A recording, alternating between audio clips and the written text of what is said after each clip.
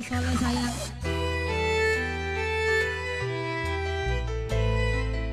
Mama Epina, Mimi Epina sayang mantan majikan. Buat Mimi di bawah. Eh. Gila-gila ya. ya Yuni